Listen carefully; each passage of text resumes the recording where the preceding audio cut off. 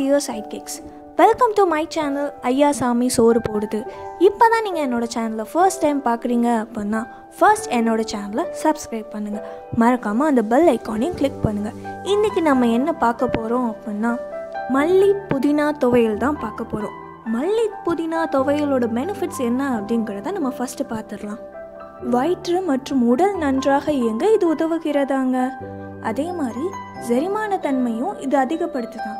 நச்சுக்கள் நீங்கும் ஆற்றலும் ஆன்டிசெப்டிக் தன்மையும் இதில் அதிகமாக உண்டாம் முக்கியமாக கர்ப்பிணி பெண்களுக்கு கொத்தமல்லி இலை அவ்வளோ பயனுள்ளதான். இப்போ புதினாவோட சிறப்புகளை பார்த்தோம் அப்படின்னா ஆஸ்துமாவையே புதினா வந்து குணப்படுத்திடுமா வயிற்றுப்போக்கை குணமாக்கிருமா? சுவாச கோளாறு இருந்தால் கூட அதை சரி பண்ணிடுமாங்க புதினா மெயினாக தோல் வியாதிகள் பூச்சிக்கடி இது போன்ற பல விஷயத்த புதினா குணப்படுத்திடுமா இப்படி ஒரு ஆரோக்கியமான துவையலை தாங்க இன்னைக்கு நம்ம பார்க்க போகிறோம் இதை எப்படி செய்யலாங்கிறத இப்போ நம்ம பார்க்கலாம்.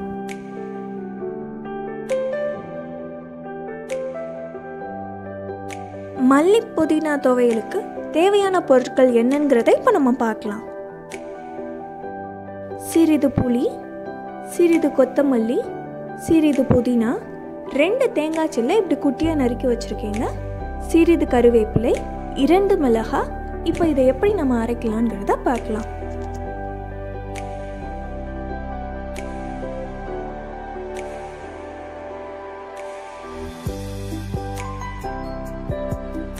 துவையலுக்கு தேவையான அளவு உப்பு.